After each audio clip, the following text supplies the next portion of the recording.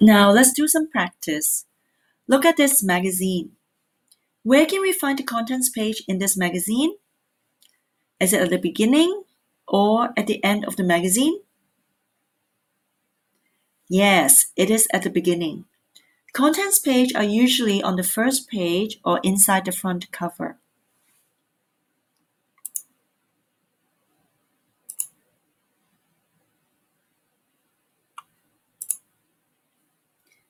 How do we know that this contents page is from a magazine?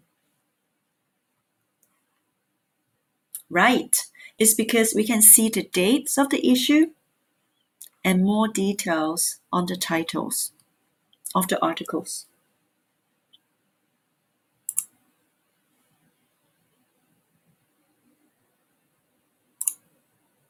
Next question.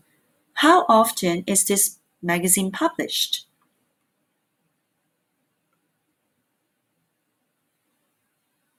Right, we can see a date range of seven days here. From the 12th to the 18th of February, that's seven days. So this is a weekly magazine.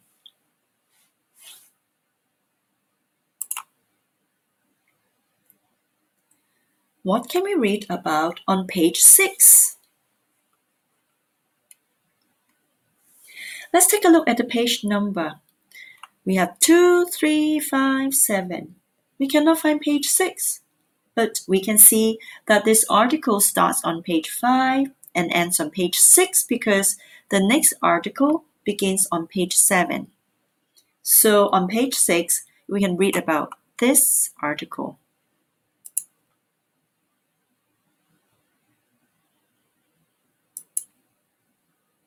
Remember, the page number shows the beginning page of an article.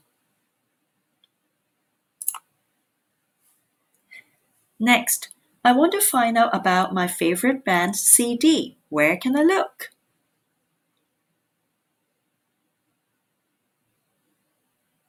We know that a CD plays music. So here, under the section of reviews, people write about their opinions on films, which are movies, books, and music. So we can look under the review section for more information on the new CDs.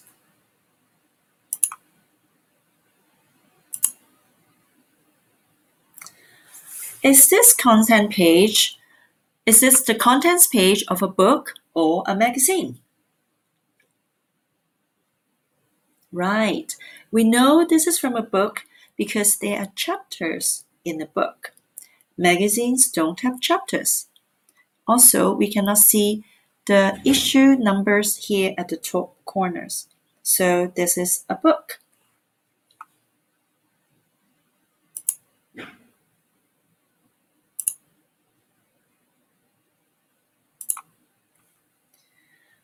Next question. How many pages long is the chapter on incredible animals?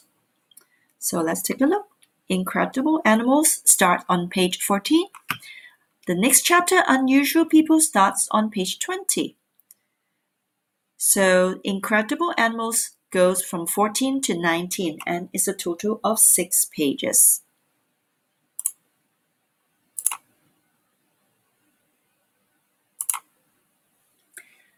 Today, we have talked about the different features of the contents page text type. Now you may go ahead to work on the comprehension questions on page 9 of your book and worksheet 4. Bye bye.